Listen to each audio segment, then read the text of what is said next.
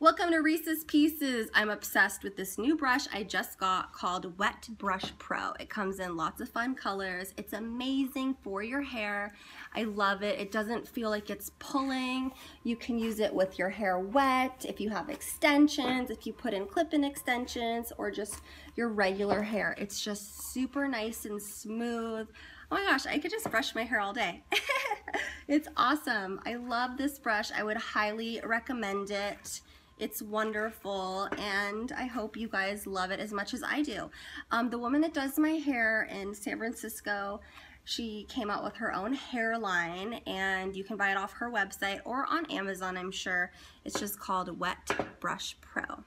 So I hope you guys enjoyed this Reese's piece. Till next time, guys. Bye.